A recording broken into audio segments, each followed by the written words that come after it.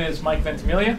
I'm the co-director of the Hersher Institute. And before we get rolling, I just want to say a few words about the Hersher Institute, uh, which is sponsoring today's event. Um, the Hersher Institute started in 1993 with a generous endowment from local businessman Kurt Hersher, and is named in memory of his father. Uh, the Hersher Institute promotes ethical reflection and education across the curriculum. Most of our programs are directed towards faculty, preparing faculty to incorporate ethical analysis more effectively into their courses. The Institute also promotes conversations around campus about pressing ethical issues of our time. And certainly one of the most pressing ethical issues of our time is the ethics and politics of food. And that's been the theme of this year's uh, programming. So we've had some reading groups. Uh, we had a very interesting farm-to-table dinner with some local farmers.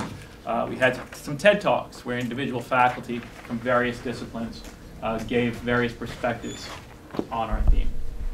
Um, and today, okay, we're uh, having uh, a major event of our programming um, with Professor Kelly Brownell.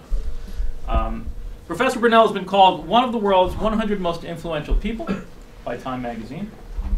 He's been called the major public voice on obesity by his new boss, the president of Duke, Richard Brodhead. And he's, he's been called some less flattering things, I think I've read in the news. And that's what happens when you take on one of the most powerful industries in the country. Um, his name again is Kelly Brownell, and you may recognize him from Super Size Me, the movie, or HBO's recent series called The Weight of the Nation. He's currently the James Rowland Angell Professor Engel Professor of Psychology at Yale University, where he also serves as Professor uh, of uh, ep epidemi Epidemiology and Public Health, and as Director of the Rudd Center for Food Policy and Obesity. This summer, he will become Dean of Duke University's Sanford School of Public Policy. He has authored over 15 books and 350 articles and has received more awards than it would be practical to list here. Professor Brownell has advised the White House, members of Congress, governors, World Health and Nutrition Organizations, and media, media leaders on issues of nutrition, obesity, and public policy. Today, he is here to ask the question, is there courage to change the American diet? Please join me in welcoming Professor Brownell.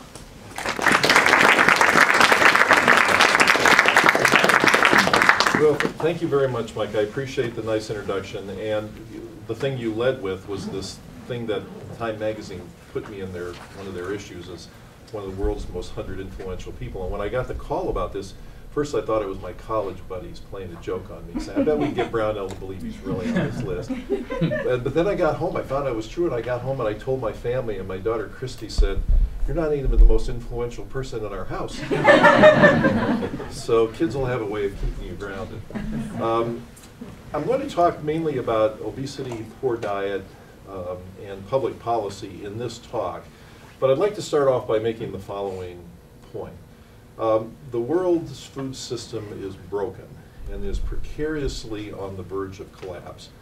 And there are very pressing issues to be addressed about whether we can continue to feed the world, where food will grow in the world, what type of food can be grown, and what is the impact on the environment overall. So there are three major world food problems. One is hunger and malnutrition. About a billion people in the world are affected by this. The second is obesity and overnutrition. About a billion people are affected by that. And people call it the dual burden of disease when you have these two problems of over and undernutrition existing in the same country. We certainly have that here. In the same state, in the same city, even in the same household in many parts of the world. You have a person who's undernourished and a person who's overnourished. And so public policies that affect these things are really very important. And then there's the third part of the triangle, which is the impact of modern food and agriculture on the environment and sustainability issues are a really important concern. So for example, it's estimated by 2050 that two-thirds of the people in the world will live in conditions of water shortages, two-thirds of the world's people. Two-thirds of the world's water gets used for agriculture. A lot of that very inefficiently because of modern agricultural practices, raising lots of meat, for example, or raising crops in ways that aren't very efficient with water grave concerns about things like genetically modified foods, climate change, and one of the biggest contributors to climate change is modern agriculture. I saw a graph that I didn't bring today, or a chart rather, from the United Nations that showed where where in North America wheat grows now and where it's expected to grow in 2050. And 2050 is not all that far off. Now wheat grows from about Oklahoma northward all the way into a narrow band in southern Canada. In 2050, it's expected that wheat will only grow in the United States in a narrow band in Minnesota and North Dakota, and it'll all be pushed up into Canada because of climate change. So if you care about undernutrition, you'd worry a lot about what's going on in the world. If you worry about overnutrition, you'd be highly concerned. And if you're worried about sustainability, you'd be highly concerned. And when you put all these together, there's really a very good reason to care about food and food systems because we simply can't continue like we are now, or the world is going to run out of food. Uh, you could imagine with two-thirds of the world in water scarcity, what would happen with political stability between countries that share a large lake, or what will happen when a country downriver from another one that's used to the water uh, as a way of just sustaining life in the country no longer has the water because the country upstream needs it. Um, you may have heard that countries in the Middle East that don't have much water are buying up large amounts of land in uh, South America and other parts of the world in order to have places where they can raise food to feed their population in upcoming times. So there's a lot going on with the world's food supply. I'm going to start off by showing um, our website there that's circled. In case any of you are interested in these issues, we have a great website that's filled with information, and we send out an email newsletter every other week that has breaking information on food policy issues. We also have a wonderful set of podcasts that you can listen to on your computer or on your iPad or whatever uh, that has a lot of visitors who have come to the Rudd Center. So award-winning journalists, uh, legal professionals, well-known food writers like Mark Bittman and Michael Pollan and others have come and we've recorded podcasts with them. So there's a lot of resources there. So my agenda today is to begin by talking about how do you view these food-related things in a public health context. I'm going to like to talk about a concept that I've been using for a number of years, the toxic food environment. I'll talk about how science and academic work might get harnessed to deal with these issues. And then I'd like to talk about game changers and talk about game-changing people and game-changing ideas. I'm going to uh, begin with this particular quote by Nelson Mandela that I think captures a lot of the way we could look at food-related issues, and it, it, in the context of the defense of children. Uh, some of you may know that the United Nations has something called the Charter on the Rights of the Child. It talks about the basic right of children to live in peaceful environments and to have their basic needs met. That charter has been signed by almost every country in the world other than the U.S. And some people really ask about what are the realities of the way we're raising our children. Most people would agree with this premise, but I think it's also safe to say that our children are being robbed of their future. They're being robbed of their environmental future, but they're also being robbed, robbed of their health future. And so you may have heard the statistics that if you guys, when you, some of you may have children, but when you do, they're expected to be the first generation in the nation's history to lead shorter lives than you do. Shorter lives. And this comes in the face of medical saving devices and interventions and drugs that prolong life. But it's poor diet, physical inactivity, diabetes, heart disease, cancer, the chronic diseases that are going to shorten lifespan in those individuals. So there's a lot to worry about, and I believe there are responsible players and things that to be done.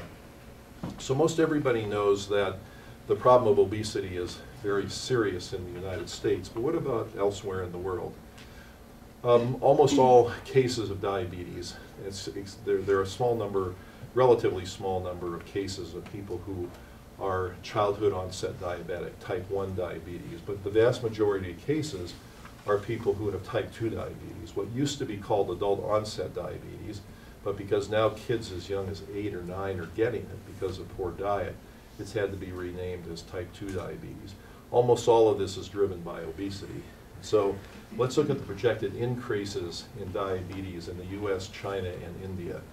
In the US, before the year 2030, we're expecting 37% increase in diabetes. Now, a lot of you I know are involved in the health professions or have aspirations to be, and we have a very high rate of diabetes already in this country, so a 37% increase is a pretty uh, dim statistic. But in China, the numbers are this, and in India, the numbers are that.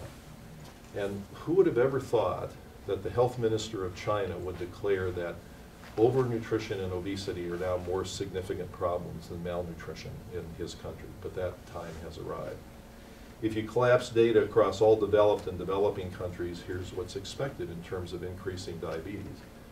So a lot of what's going on um, in terms of the world cases of cancer, diabetes, heart disease, and the like is happening outside countries like the U.S. And it's countries like Indonesia, India, China, et cetera, that are doing a lot of the contributing because they have changing environments that are catching up to the environment that we have the, in the U.S. Now, depending on how you look at things, uh, one could say that the largest shame of all is the food colonization of the developing world. Um, you companies like Coca-Cola and McDonald's, almost all their growth is happening outside the U.S. and it's happening in the developing countries. Now, you may know that about half the number of people in the U.S., or even less, are smoking now than used to be the case. And that was a tremendous public health victory. Millions of lives saved and healthcare costs averted from that. But the companies are more profitable than ever. How come? Because they're doing what the food companies are now doing. They're cap, they're colonizing the rest of the world and they're getting a lot of their sales overseas. So to the extent we believe the companies should be held accountable for the health consequences that they're creating, one should think beyond the US borders and not just in the US. So how do you think about this problem? How do you think about doing something? So if you take the obesity problem, for example, there are a ton of ways you could approach it. Well, first there's the diet and the activity, both important parts. Then, if you just take the diet, which I'll focus on mainly today, just think of the number of things you could do. You could do education to try to convince people that they should eat a different diet. Uh, you could tax foods. I'll come back and talk about that. Uh, you could do a lot of different things. And the question is, how do you proceed? How do you come up with some vision of where to go with this? So here's uh, how, how I found it helpful to think about it. A country like the U.S., which is a very individualistically oriented culture. That is, we count on the individual to pull themselves up by the bootstrap, take personal responsibility and the like. When there's a health problem related to behavior, so alcohol-related problems, smoking, drugs, unsafe sex, all these things, diet certainly, and there are some diseases that follow from that. We usually begin as a culture by focusing on the individual. That is, we want to apply something to the individual, either one at a time or maybe in a mass media way, to see if they will change their behavior and you get better health as a consequence. So knowledge is what we hope to give people and hope that information will help them change. Or we hope to motivate them. And so our default approach is usually to either educate or implore and hope that things will change. This was true of the early days of the AIDS epidemic. It's the way the countries dealt with alcohol for the most part until more recently. Certainly with tobacco until more public policy started to kick in. Now, in the case of obesity, we can medicate and operate, but we hope we end up with less of the problem. Now, by any, any, um, any standard, this has to be considered a failed experiment because we've been doing this now for about 30 years and the rates of obesity have just gone up and up and up, the highest rates in the world. So you might say, well, if this isn't going to work, then what should we do? Well, first let's get back to this basic premise that giving people information is going to help much. Behind these orange boxes, you're going to see the number of people in the population that get the recommended levels of physical activity in their day-to-day -day lives from 1986 to 2000. Now, during that time, a lot happened. There was a Surgeon General's report on exercise. There are gyms opening everywhere, exercise devices advertised on TV. There really can't be many people in the country who don't know that it's a good idea to exercise. Okay, so that information, how far does it take us? Well, let's look at the trends over that period of time as exercise knowledge was increasing.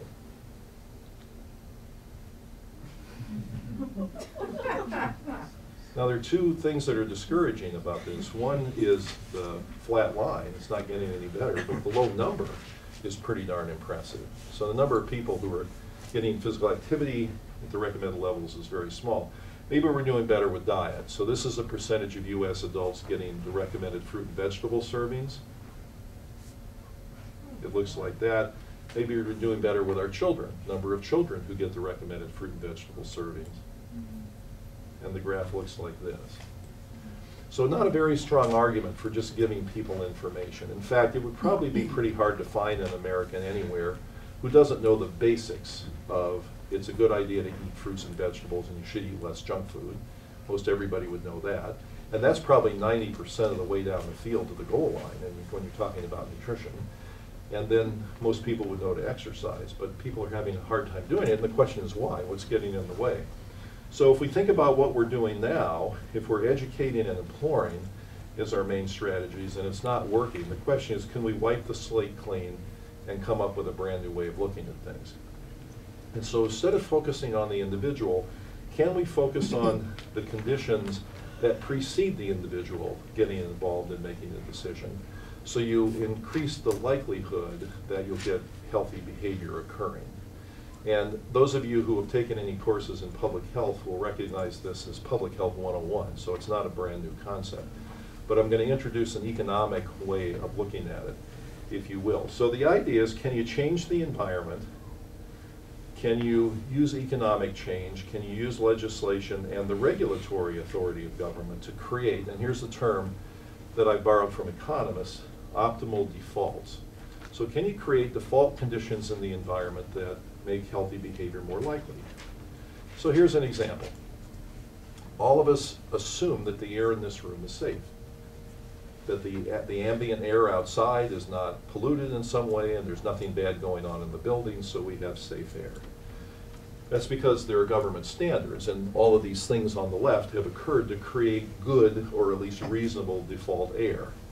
Now, we could say the government doesn't belong in that space, and it's big brother government, you know, behaving in the air space, if you will, and we could just count on everybody trying to mitigate their personal uh, damage being created by poor air. So we'd all be wearing masks, or we'd have personal purifiers or something like that. But of course, we don't do that because we give government permission to act on our behalf.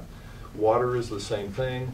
You can count on people to, to purify their own water, and then government could decrease taxes because they wouldn't have to be paid for water filtration plants and things like that. But of course, we would consider that a danger and an imposition, so we don't do it. But those would create different default circumstances, and the question is, are there food-related ones? So as an example, um, if you have unhealthy foods at schools, kids eat unhealthy food at school. And if you, you make the food policy different in schools and you have healthy foods, kids will then eat better food in schools. You create a better set of defaults. So if you want to improve kids' diets, you can't, you're not there every moment of their lives, but at least for the school-related part where government does have some authority, you can create better conditions, a better set of defaults. So can we create defaults for food? And here's an example, I'm going to give you two of how powerful changing defaults can be. When people get jobs, very often an employer offers enrollment in a pension plan, a retirement plan, as an option. So you, you contribute money out of your paycheck, it gets invested, you're not allowed to touch that money until you retire, so it builds over the years. Usually the employer contributes to it as well. And so it's like free money that you're getting, plus you're investing for your future. Most people consider enrollment in pension plans a social good because you're investing in your future, you're not so dependent on the state later in life, et cetera. But employers offer enrollment in two different ways. In one way, you're, you're not enrolled in the pension plan as the default when you get a job, but you're given the choice of opting in. And the reverse is also true in other employment settings where you are in the pension plan as the default, but you're given the option of opting out. So the employee, when you sign on to your job, has the same set of choices under both circumstances. You can be clearly in or out, freely in or out, but they just change the default. Are you in as the default or not in as the default? And it makes a big difference in terms of how many people enroll in the pension plan. Now, if you're a government official or an employer and you want more people in the pension plan, then you could try to educate your way from 50 to 100%, or employ your way, or you can just change the default. So here's another example. This one really pretty amazing. This is the percentage of people from European countries who agree to be organ donors.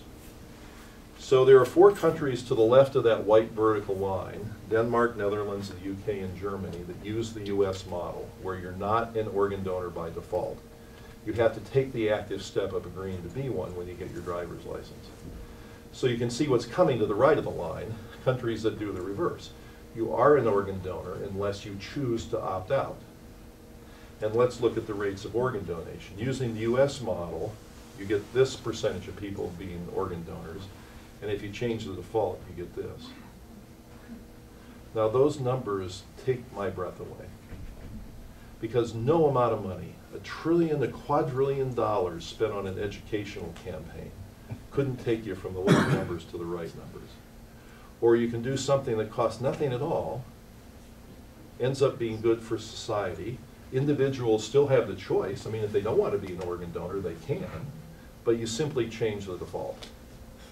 So let's look back to the food arena and see whether there are food defaults that are pushing us in a bad direction. Uh, one way to look at this is I can scroll back, I can rewind the videotape, if you will, to my childhood and think about what the food environment was like and then look at what it's like today. And just about every single norm that existed when I was a child has changed. And it's been changed to some extent by economic pressures, globalization and the like, but also it's been changed very systematically as an effort by the food industry to get people to eat as much as possible. Where one eats has been changed. When I was a kid, nobody ate in their car. And now, if you're an automobile manufacturer and your cup holders aren't large hmm. enough to hold those drive-in window cups, you'll lose market share. What time of day to eat? You know, we ate three meals and a snack. That was it. Now, you're eating food all day long. People are grazing much more than used to be the case. What type of food is eaten is changed. The portion sizes of. And essentially, all these things have changed, plus more. And as a consequence, the food environment has been very systematically structured to maximize food intake in people. And it's one of the reasons that we have excess food intake and large problems with obesity and diabetes. And this is what I call the toxic food environment. Now, toxic is a pretty strong word. It implies that the environment is poisonous, or that when you're in the presence of this environment, you're going to get sick. And so the United States has this environment, and people are sick from it. They have uh, diabetes, heart disease, cancer, etc. And so you could say, well, it's not the food environment's causing this, it's just people aren't responsible enough, and they're not behaving the way they should, and it's their own fault. But every country in the world has rising obesity now, and it's pretty hard to argue that people are becoming irresponsible in every country in the world. And if you look at rates of things like people getting mammograms, or people driving with seat belts, or driving, uh, driving while not impaired by alcohol, all those numbers have remained pretty stable or getting better in the U.S. So people, there's evidence that people are behaving at least as responsibly or more than they did before. Why not in the food arena? Because the food arena has become toxic in a way. And there's some amusing examples of this kind of thing. Some friends sent me some pictures from the Midwestern State Fair and showed me examples of things like this that you can buy. Here you can get chocolate covered bacon if you want that. And if you're still not full when you have that, you can go and get deep fried butter at this particular place. Deep fried butter? How is that? But let's look at this now. So at this place, you can get deep fried cookie dough, deep fried Oreos, deep fried peanut butter cups, and deep fried Pepsi. And look what happens if you eat that stuff. You get that big white spot on you. so this is not good. But there are other things that are out there in the environment that aren't just so amusing, but interesting nonetheless.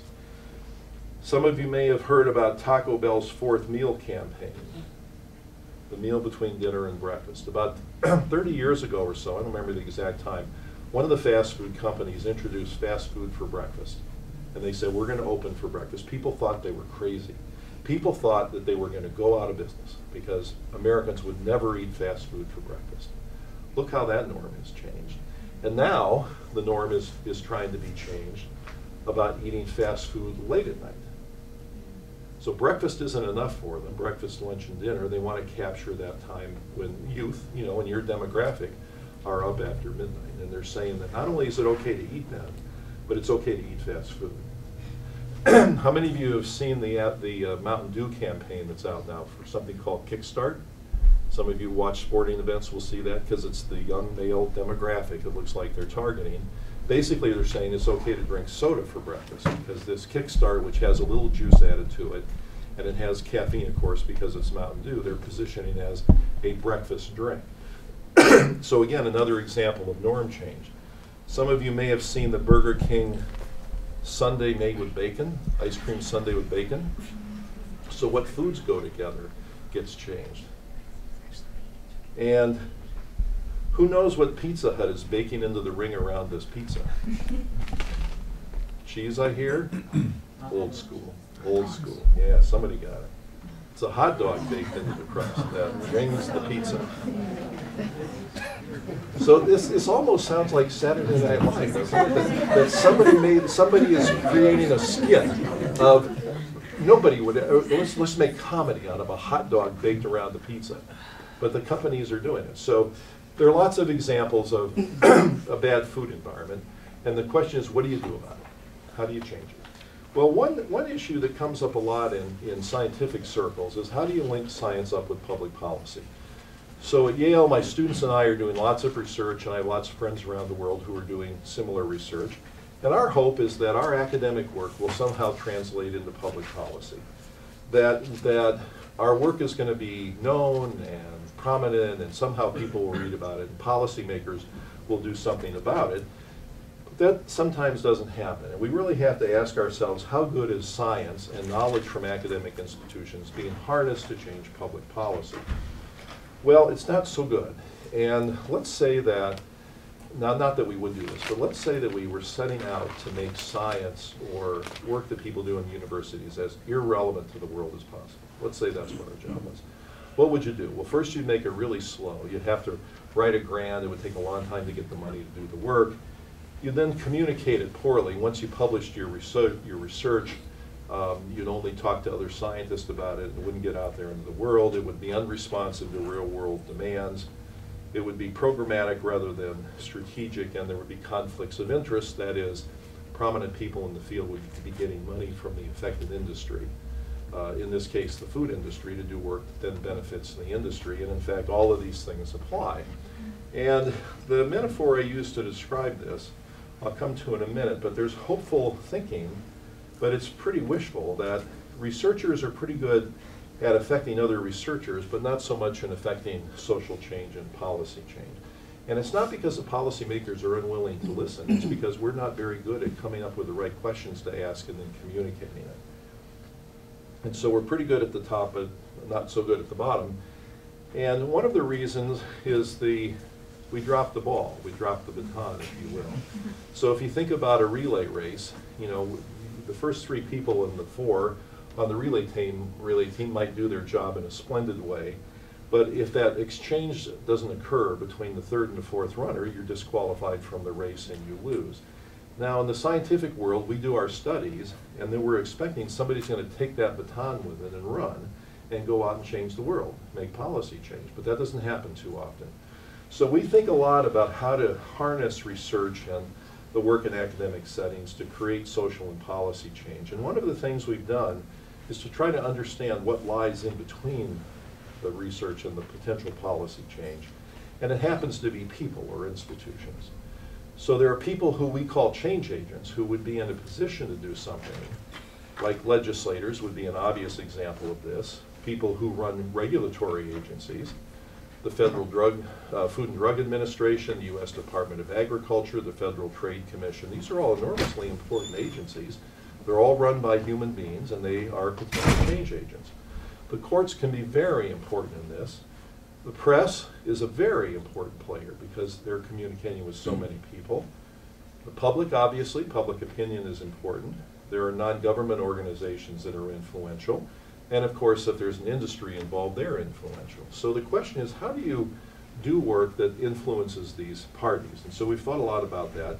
And we've come up with this model of what we call strategic science. And our idea is, can we, instead of having vicious cycles where you do work that falls on deaf ears, you create a virtuous cycle of solutions by identifying the change agents, doing the relevant scholarship because you've asked the right questions, and then most importantly, communicating back to the change agents. So this is what we try to do in our own center. And I'd like to give you some examples of that, starting with cereal. We have a large grant from the Robert Wood Johnson Foundation to study the marketing of breakfast cereals, in this case to children. But we've also studied fast food and sugar beverages. Um, we did a year-long study led by my colleague Jennifer Harris and a whole team of people collecting data on the marketing of, of breakfast cereals to children. And the consequence of this was this uh, report called Cereal Facts. And you can Google it and pull it up on the web if you'd like. There's a lot of information in the report, but if you distill it into the bottom line, if you will, think of creating two lists. One is a list of cereals that are rank ordered from the worst nutrition cereals at the top with the better ones at the bottom of the list. And then next to that, you create a list of what's marketed most aggressively to kids. And let's and see, let's see how those two lists line up. So if you take the cereals with the best nutrition scores, here's what they are. And you'll see lots of cereals you may not have even heard of. And look to see how much advertising there is on TV and on food company related websites. It amounts to zero, exactly zero. Let's take the worst dozen cereals, and now you're going to start to recognize names. These are the worst cereals by nutrition scores. They have the most sugar, the most saturated fat, the most uh, salt. And let's see how much marketing there's done with these. And all of a sudden, the graph, the chart gets populated with X's. And so you wouldn't claim that the food industry, the cereal industry, is setting out to make American kids unhealthy. But if they were, could you do it much better than this? These companies all have healthy foods in their portfolios, but that's not what they're marketing to kids. So you think for a minute about why that would be the case. If you're a cereal company, why would you take your worst nutrition products and market them most aggressively to kids? So when we did this report, we wanted to get as much attention as we could from it in order to put pressure on the industries to market healthier products to children. And so we planned a big, big press release for our study. In fact, it got a lot of attention nationally once it was released. And one thing we did that became quite strategic was to try to anticipate what the food industry's response would be, what their defense would be of their practices. And we knew pretty much what they were going to say because I debate them on TV and things like that. And we figured that what they were going to say was a three-part logic chain. One, that kids, that eating breakfast is a good thing. That turns out to be true. Research supports that. Number two is that cereals can be a good delivery vehicle for nutrients. Also true. But three is that kids won't eat cereal unless there's a lot of sugar on it. And this has come out in a lot of different places, but here are some quotes from uh, one of the chief nutrition people from Kellogg and General Mills, who said that food does not become nutrition until it's eaten. So, meaning that you could have the healthiest product in the world, but if people aren't eating it, kids in particular, then what good does it do? And then they say children like the taste of ready-to-eat cereals, that's a euphemism for high sugar, and are therefore more likely to eat breakfast. So these companies believe they're doing God's work. Why? Because God's work means getting people to eat breakfast, and kids to eat breakfast, and delivering nutrients like vitamin C and fiber and stuff like that. And the way you do it is you package it up with sugar. So what do you think we did in anticipation of this? Well, as scientists, we did a study to put their basic premise to a test. Their basic premise is kids won't eat cereal unless it has sugar. Completely testable question. So we did a study where kids got randomly assigned eating breakfast to one condition where they got a low sugar version of a cereal, like cornflakes, and then they could put as much milk, sugar, and fruit on it as they wanted. And then in the second condition, kids were randomized again. Kids got a high sugar version of the same cereal, like sugar frosted flakes. And they could also put as much milk, sugar, and fruit on it as they wanted. What we found is that kids that got the low sugar version of the cereal ate almost exactly what you'd like to have a child have for breakfast in terms of the number of calories. Plus, they put fruit on it to make it sweeter, and they got the nutrition boost from the fruit. The kids who got the high sugar version of the cereal ate twice as much as what you'd like a child to eat for breakfast, and they put less fruit on it. So, thinking back to why would the cereal companies want to promote their least healthy products? Because the consumer, the child, eats twice as much of it. So you sell twice as much cereal. So they're not agnostic, I don't believe, about which of their products they sell. They want to eat the, they want to sell the versions that people eat the most of, and that tends to be the high sugar version. Now, this study turned out to be pretty important because when we, and th- this was published in a good journal called Pediatrics, um, and it turned out to be important in the discussion because when the press then was going to report our results and then called the cereal companies for their response, the cereal companies would go through the whole litany. Well, breakfast is good, cereals deliver nutrients, and kids won't eat cereals unless they have sugar. The press then said, but yes, Yale has this study that says that that's not true. Kids will eat lower sugar versions of cereals. So within about three months after our study got published, lots of other people are working on this as well. General Mills announced it was going to reduce the sugar in its child-related cereals by about 25%. So I'm not saying that we deserve credit for that, but it was an important move by the, the company. And to the extent we had an impact on that, it was because our research influenced the press, in turn influencing public opinion, and that put pressure on the industry to create the change we were ultimately looking for. And this is an example of trying to connect science up with public policy. Well, let's go back to the cereals to ask this question about whether you can trust the food industry. In 2008, um, when we did our first study on breakfast cereals, these were the top 10 cereals marketed to children. Now, during that, during that intervening years, the industry has made promise after promise about how it will do better by marketing healthier products to kids. All right, so so okay, let's take them at their word, but let's at least put it to a test to see whether they're making changes. So if you take these top 10 cereals that you see here in 2008, what happened between then and 2009? One cereal dropped off the list, number nine, and it got replaced with another one, Cookie Crisp cereal. So I don't know many people would define this as progress. And then there was a little, the, the, they've shifted around a little bit in rank order in terms of what was marketed most aggressively. But all the crud that was marketed in 2008 is still being marketed to kids. So industry doesn't seem to be very well living up to its promise that they're going to do better. Let's look at another example, sugared beverages. Um, the landscape of sugared beverages has changed a lot. Uh, what used to be just a few flagship beverages like Coke and Pepsi and 7-Up have been changed into entire new categories of things like sweetened teas, energy drinks, and sports drinks. Um, the percentage of calories, the percentage of your total calories that you consume in liquids is far higher than what your parents would have consumed. They would have consumed a far higher percentage of their calories in solid foods. And that turns out to make a difference that I'll describe in a minute. So to the extent beverages are contributing unhealthy calories to the diet, it's a real concern. So these beverages have become public enemy number one. There are uh, counties and cities all around the, the United States that are waging war on sugar-sweetened beverages. Educational campaigns, the mayor of Boston has forbidden the sale of sugared beverages on municipal property. And then I'll talk about taxes as a potential public health intervention in just a few minutes.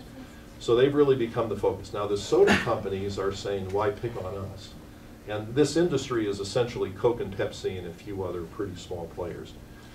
Um, why are you picking on us? Because there are lots of other things contributing to the obesity problem. Why are we standing out in this respect? Well, there's a long list of reasons, and here's what some of them are. These beverages are the single greatest source of added sugar in the American diet. They carry no nutrition with them at all, or things that people might consider nutrition but are unnecessary, like vitamin water. Um, you know, my guess is that there's a lot of vitamin water consumption in this kind of a group. Now, let's stop and think about the, the logic of consuming vitamin water. It's sugar water, so most people don't want to have those calories. So why justify drinking sugar water? Because there's some perceived benefit of the vitamins. Well, the, that only works if one of two things is true. A, we're vitamin deficient, we're not. Our country is not vitamin deficient. We usually get too much because people are overdoing it. Or that if we go beyond the recommended levels, we're somehow getting better off. No evidence of that at all. So the companies put in unnecessary vitamins and minerals, uh, promote them as being very healthy, and people think they're getting benefit. But one very interesting point here has to do with poor calorie compensation. So your body doesn't tend to recognize calories very well when they get delivered in liquids. So let's, let's think about doing an experiment with all of you in this room to make this point. So let's say we divide the room in half, and we do an experiment where you guys on this side of the room get, let's say tomorrow, we, you get your traditional lunch, whatever that is for you, but you get 200 additional calories beyond what you usually consume. But the 200 calories come in solid food. Could be pizza, donuts, or ice cream, but it's solid. This side of the room, you get your traditional lunch, you get 200 additional calories, but you get it in a sugared beverage. And then we follow you in subsequent meals to see if your body was wise enough to recognize the 200 calorie excess. So you cut back in order to remain in calorie balance and you don't gain weight. This side of the room will do better than this side of the room. So having calories and beverages doesn't seem to be a very good thing. And then there's new science on the addictive properties of sugar. I'll talk more about that. And then there's the gratuitous addition of caffeine, sometimes in very large amounts, put in probably by the companies just to keep you craving it, getting uh, withdrawal symptoms when you don't have it, and coming back for more.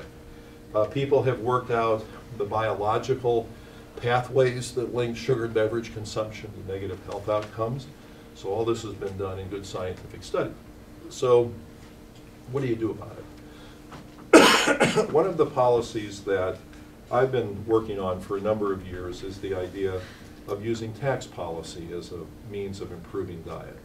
So would it make sense, for example, to put a tax on unhealthy foods and use the revenue to subsidize healthy foods to help shift around the American diet? And not everybody likes the concept of taxes, obviously, but if you enter, you know, humor me for a minute and consider the, the, the concept, then it would make sense to start taxing some category of foods that people consider bad actors, like the sugared beverages. Now also, why think about a tax? Well, as I said before, about half the people in the country are smoking compared to before. And there are a lot of things contributing to that, but the most important factor overall were the high tobacco taxes. So those were a stunning public health success. And you can calculate very precisely how many thousands of cases of lung cancer and heart disease you can prevent by increasing the price of a pack of cigarettes by a quarter, by a half dollar, by a dollar, et cetera. So it makes sense to at least think about this in the context of food. So in 2009, I wrote this opinion piece with Thomas Frieden, who at the time was the health commissioner in New York City and is now the director of the Centers for Disease Control, making a public policy case for sugar-sweetened beverage taxes.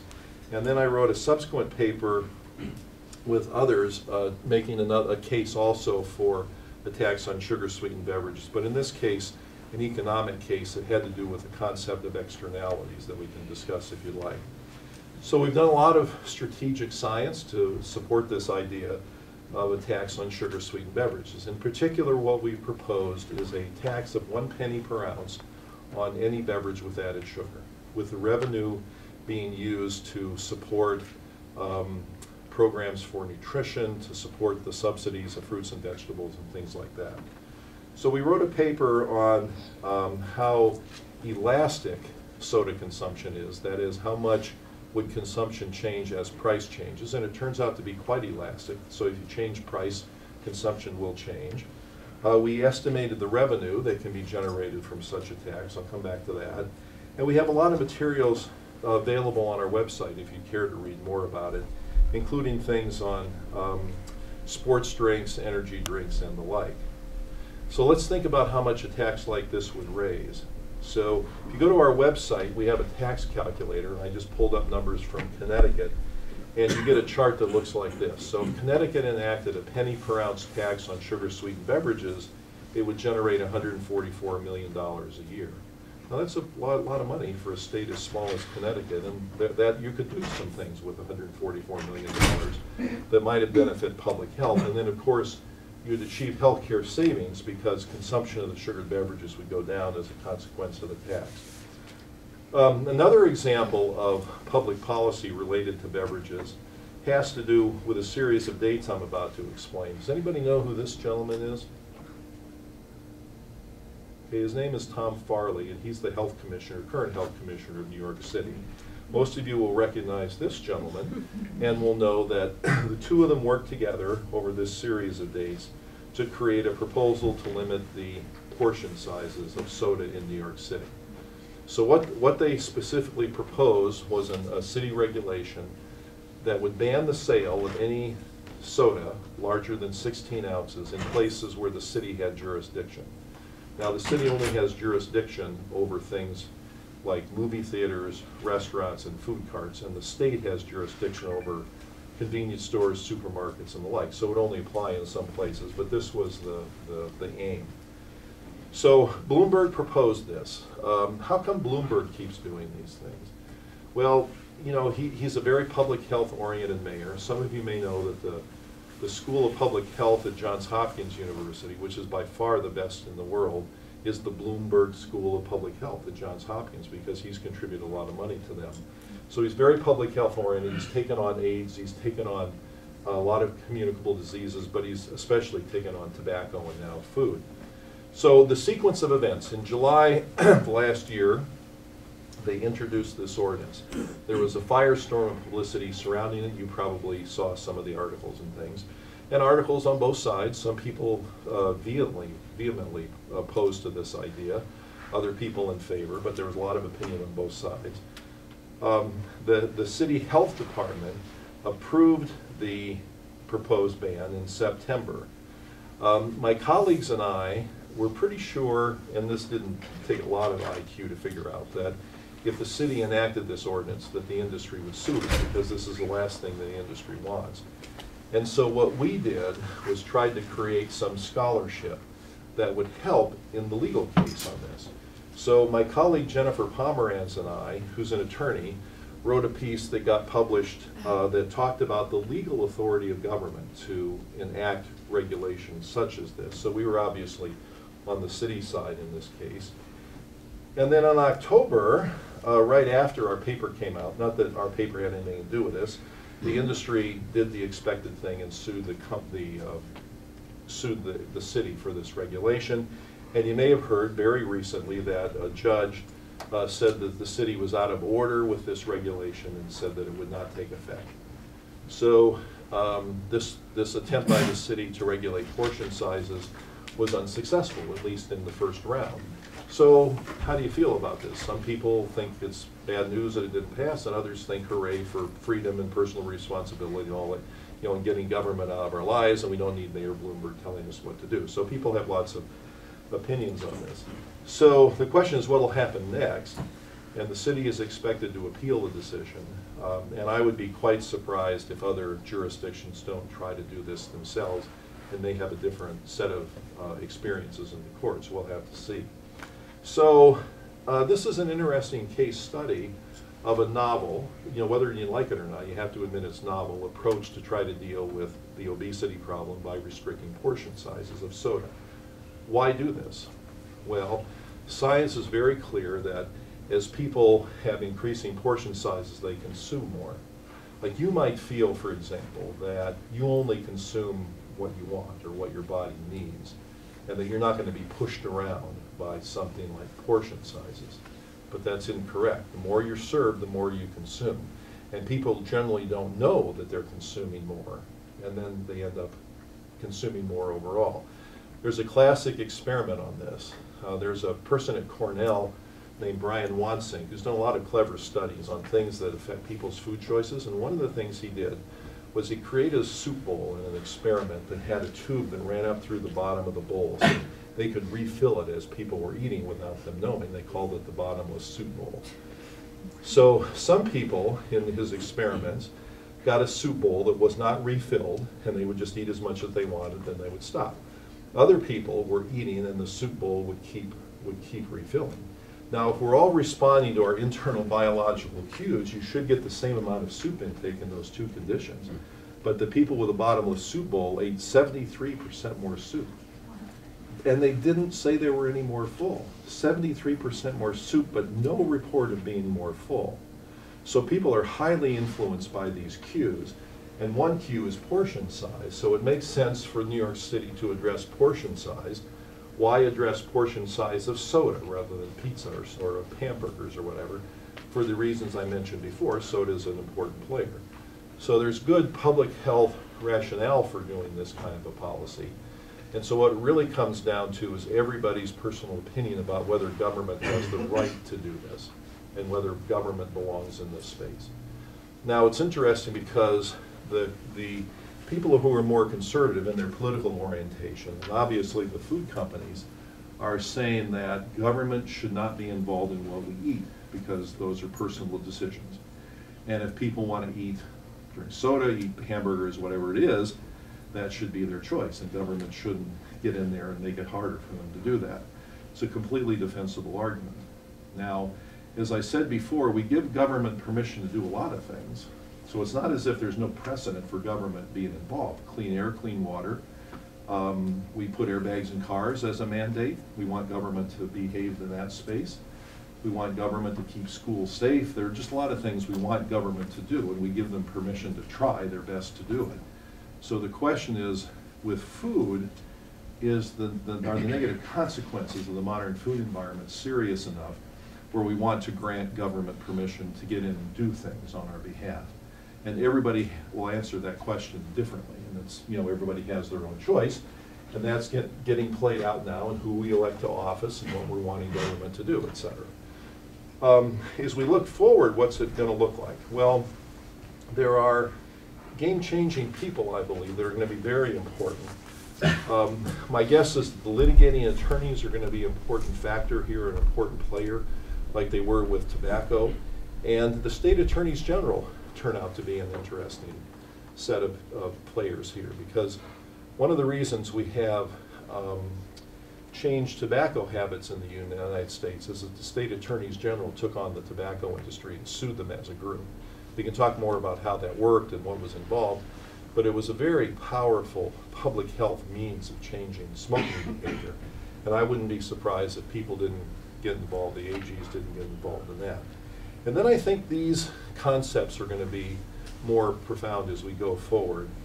Um, I think the country will stand up to the food industry interests more than has ever been the case. I think proposals like the Bloomberg type thing, whether you like it or not, I think are going to be more common in the future. Taxes, I think, will be part of the political landscape in a pretty routine way in a short period of time. And then the issue of addiction, I think, is likely to be important too, and I'd like to end with just a few thoughts about that. One of the questions is uh, that we have in, with the modern food supply is that how does the body respond to the type of foods that we have available to us? So take a Pop-Tart, for example. Uh, I start off some talks by showing an ingredient list from chocolate Pop-Tarts. And there are 56 things in that ingredient list. Sugar's in there about 10 different ways, but 56 different things. Colorings, preservatives, you name it, it's in there. Things with names we wouldn't begin to understand. And we don't really know what all those things do to the body. And how do they affect the brain? How do they affect the gut? What's going on biologically when we consume these sort of things? And is the human body evolved to the point where it can handle these kinds of insults, you might call them, from processed foods that it doesn't recognize as food? That's one of the issues. So here's the, the metaphor you might use to describe that. Take the coca leaf in the natural environment. Now, the coca leaf is mildly reinforcing if people consume it in nature, but not so much that people would abuse it. And so people can live in harmony with this part of nature. But when you process it and it becomes cocaine, or you hyperprocess it and it becomes crack cocaine, then the body doesn't handle it very well any longer.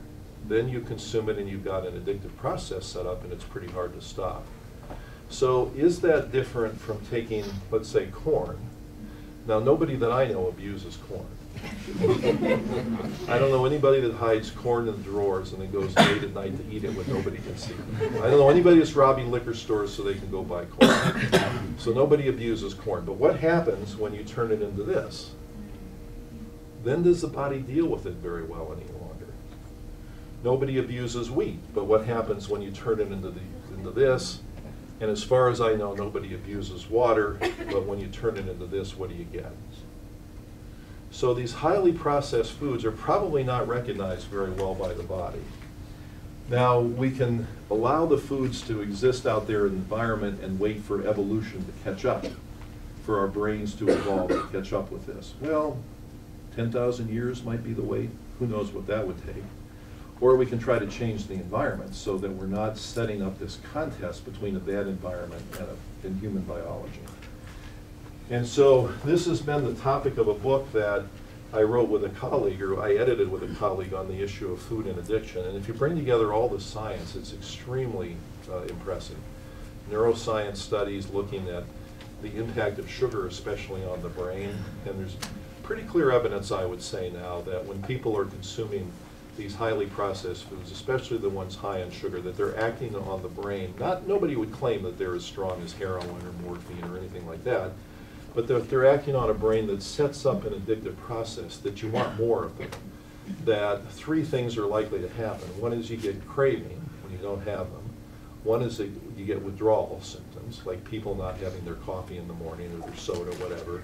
And then third is that there's a possibility that tolerance develops. So that would be the, the process by which you need more of the substance over time in order to produce the same pharmacologic effect. And this would be consistent with animal feeding studies. So I'm going to try to pull all this together in a few summary statements, and then I'm more than happy to answer questions. Um, the modern food environment, I think, is toxic. And it's not just producing obesity, but it's setting us up to have big problems with sustainability, world hunger, and the like. And you guys are going to have to be the ones that solve it. It's going to be your generation of people that's going to have to care about this, or we're going to have big problems. And this will be, big problems will exist within your lifetime. And if you think about your children and your grandchildren, it gets very, very scary. So it's important that people care about food. Doesn't mean their lives have to be devoted to it in a professional sense, but you can be important players as voters, important players as parents. How can you work with your school system to have a healthier food environment? What do you want your local officials to do? And the kind of solutions I might come up with, you may completely disagree with, but what would your solutions be? And can you be an active voice? And can you be a player out there? You certainly can. Individuals can make a big difference. But unless we do something about these things, then we're going to have trouble. And one of the approaches I think is, is a very helpful one is to think about changing defaults. What are the conditions out there that are driving unhealthy behavior? And can we create circumstances that make it easy to make a healthy choice rather than hard to make a healthy choice? And if we do that, we all benefit. Uh, whether or not we're likely to get these diseases ourselves, we're going to save money because of reduced healthcare costs from enacting reasonable, constructive, sensible policies. And again, you'll have to decide as you go forward what those policies might be. But I just wanted to reinforce the fact that you can all be very important in this, and it's a very important world problem that we're dealing with. Thank you very much.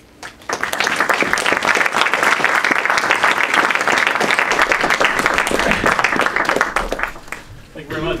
Um, so we have about 10 minutes to uh, field some questions. Crystal?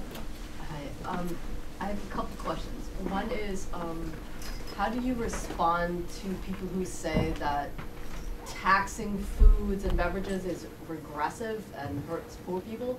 And the second Let me deal with is, the- the first question first. So okay, these, a lot of these public policies that you come up with are regressive in that they hurt the poor the most. And tobacco taxes were certainly that. They were highly regressive because the rates of smoking were highest among the, the poor parts of the population. The public health rationale for doing taxes under those circumstances is that the poor communities are the ones that derive the most benefit when these taxes occur, because then people will be less likely to start smoking. Those are the people who are most likely to be uninsured and are least able to afford the health care costs if they get the smoking-related diseases. And so a regressive tax can be justified in the minds of some if the benefit goes disproportionately back to that community. And in the case of a tax on something like soda, which would be partially regressive too, you could argue that obesity is a regressive disease. It really strikes hard at those communities. And if you use the revenue in a way that helps those communities, then that helps offset the progressive nature of the tax. And you got another question? Yes, my other question is, um, you know, thinking of the comparison to tobacco, um, a big part of that was also these labels that said, you know, this could kill you and it's really bad for you. Right now, food labeling, all it does is it tells you what's in it. Have there been any proposals or research on, you know, labeling the kids cereal, saying, you know, this could cause you to get diabetes? Yes, there has been some discussion of whether certain products should be labeled. The question is, is there a scientific evidence that any particular food causes some disease? And then it gets harder, because with tobacco, it was easy. There was one product, it was cigarettes. And with food, there are so many that it's pretty hard to say that this type product is driving the disease. But I think we're getting closer to the day we might see that. There's some actual, actually very interesting legal questions bound up in this, because there are two types of speech that get affected by the Constitution of the United States pertinent to this. So the Constitution, the First Amendment, protects our ability to speak religiously, politically, etc. but it also protects something called commercial speech, which means marketing, more or less. And the, the courts afford a lot of flex- flexibility to the industry, not all around the world, but in the US, to companies to market what they want. So it's why you can walk down the cereal aisle, and the worst cereals will have the most health claims on them. I mean, it's just completely bizarre, but we permit that. And then there's also a form of speech called compelled speech, and that's what you're talking about, when an industry might be compelled by government to use speech, labeling that is, on their products in ways that might hurt the industry's interest. And with tobacco, with cigarette packages having that kind of stuff, that would be an example of compelled speech. So people are thinking about applying that into the food arena. And I'd be surprised if you don't see more of that in the future. Thanks. Tara? To what extent do you think we will see or that we should see, and those may be different, you know, different answers, different, maybe different questions, but um, dietary regulations on the college campus? Uh, Okay. Questions about should there be dietary regulations on the college campus? Well, you know, I don't know, because um, my feeling is that the, the younger people get, the more rationale government has for getting involved. So the first frontier for dealing with nutrition-related things has been the primary schools and up to, up through high school. And mo- most people in our society um, endorse those kind of policies, getting the junk out of the high schools and the elementary schools and things like that. Once you start getting older, like in colleges, then you get into this whole different territory where, you know, people are old enough to vote, they're old enough to choose what they eat, and government shouldn't do it. So I think that what you'll see first on campus will be um, demand from the students, and this has probably happened here, it certainly has at Yale, for healthier options on the menu. And healthier means different things to different people. It could mean better foods, but it also means local, sustainable, and things like that. I think you'll see that wave of having better uh, options introduced before you'll start seeing anything restrictive. And if restrictive things will happen, I, I can't imagine it'll be colleges that would be the bodies being involved in this. It would be more likely state governments or national governments to regulate marketing and things like that. Yes? Um, I have a question about American portion sizes, because um, it's so much bigger than the rest of the world. Like example, like South America, like it's much smaller, and a lot of people wonder why. And some people say that that's why um, Amer- most Americans are like obese. But um, but now everyone else is becoming obese too. So what's the correlation, I guess? Well, there are a lot of things contributing to obesity, so you couldn't, I mean, you simply can't fill in the following sentence, that blank is driving the obesity problem, because so many things would go into that blank. But portion sizes is one of them. Um, the rest of the world is catching up to us. Um, and why do the companies do it? Uh, profits go through the roof, because there's this perception among consumers that you're getting a real bargain as you buy larger portions of things but the companies cash in. So the difference between a 20 ounce and a two liter bottle of soda for the companies is very little. It's a little extra plastic and a little extra liquid, but you're willing to pay a lot more than their incremental cost. So they cash in, you think you're getting a bargain, and it's sort of a deadly set of circumstances. But in South America and Mexico, they have three liter bottles of soda now they're selling. So the rest of the world is catching up to this kind of thing. Yes, sir. What's the argument for, instead of applying a tax, redirecting the subsidy that made the Coke so cheap in the first place? Or is it just not considered politically feasible to do that. Okay, good question. So could everybody hear the question? Yeah? Okay, so there's a lot of controversy about agriculture subsidies, which began back in the Nixon administration. And the, the aim of government back then was to help the struggling farmer in the world marketplace, and they were really hurting. So they started subsidizing certain commodity crops, with corn and soybeans at the lead of that list, um, to help the farmers. And so what happened is in America started creating lots more of these things because of the subsidies, and we became dominant in the world market with these particular commodity crops. And nobody back then anticipated the nutritional consequences of this. But what it's led to, for example, is very low-cost corn, which then becomes very co- low-cost high fructose corn syrup, and the processing that goes into lots of packaged foods. And the same is true with the soybeans. So people have recently begun really questioning the subsidy policy. And the problem is that there are enormous financial interests involved in this because entire states like Iowa now grow corn and soybeans and that's it. And they can't just change on a dime and start growing apples, apples and lettuce.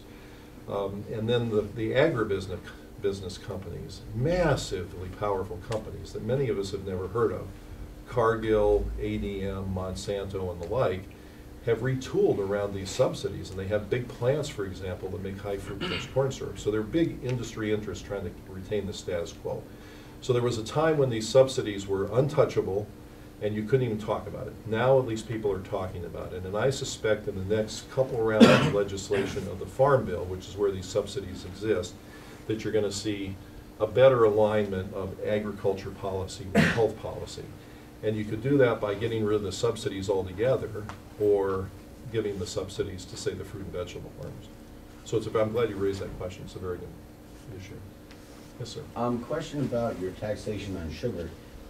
Could they possibly tax, um, the processed foods? Because processed foods, as you said, the body's gonna take about ten thousand years to catch up, which is probably the most, the strongest reason why we have obesity in this country is because the body cannot process Cheetos. It doesn't know what to do with it.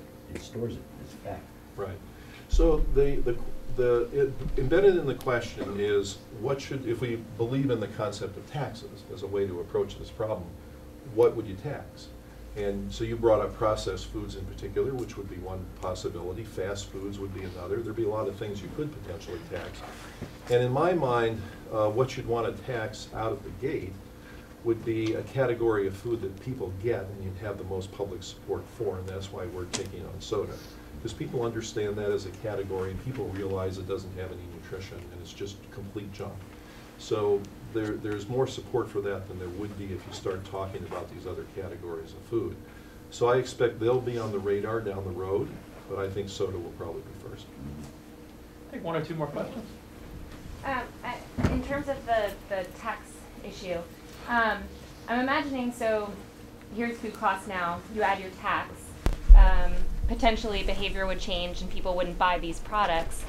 I guess my question is twofold. One, is there a, from the research, is there a, a threshold, a percent increase where you actually see um, sort of what would be acceptable slash create change? And then the other part is, in terms of long-term follow-up with these studies, at some point, would people not readjust so this high price is now no longer high? Right, very good So question. Uh, in terms of the long-term effect, you don't know until you try. You don't know until you put in one of these policies and then you see how people behave over the long term. With tobacco taxes, the, the impact on tobacco, on smoking rates has been very stable over the years. So there hasn't been any erosion of the impact of the tax, but who knows with food? Um, and then the other question he raises, how high does tax have to go? And what you want to do is you want to do exactly the two things that you mentioned, want to, you want to accomplish. You want to get the tax high enough to affect consumption, but not so high that public opinion would, would stop it. And so that's why we come up with a penny per ounce for sugar sweetened beverages. And how much the price has to go up in order to affect consumption differs from food to food. Staples like milk and eggs, you really have to change the price a lot in order to get changes in consumption because people perceive that they need these things. With soda being a more discretionary item, you can get much bigger changes with much lower changes in cost. One more question? Um, I have a question, something you didn't touch upon, I don't think, um, about genetic modified foods, like, um, apparently soybean and I, maybe corn too. I read th- about that somewhere. we still don't know the effect of that in our bodies. Um, do you think that'll be a major problem in the future concerning our food? Well, it's interesting. Uh, People in uh, Europe get really worked up about GMOs, genetically modified organisms or foods. In the US, we don't really care about it very much. yeah. And so if you actually look at the number of things we eat that have genetically modified components in them, it's a huge percentage. I forget what it is, but it's very high. And the question is, what do these things do when they get into the body? We don't know. And so the genetic modification of food certainly has some upsides. Uh, in certain parts of the world, you can genetically modify crops to resist drought or resist certain pests, for example. You get much, you can genetically modify foods to get much better um, production of certain nutrients that are needed, like vitamin A, which might be really deficient in a particular part of the world. So there's some great successes with it. But then the problem is, what do these do to the ecosystem and what do they do to the body? And that's really pretty unknown and highly controversial. And also, it's not, um, it doesn't have to say, right, on the label that it's genetic modified, which we don't know. In, in. Europe, it's, you're required to label it in some countries. In the US, the closest we came was a ballot initiative in California, just in this last election that got voted down because of massive lobbying by the by agriculture world. Um, But I suspect that someday we'll probably at least have to have them labeled, so for consumers who do care about it, they'll at least know. Please uh, join me in thanking Professor Brownell.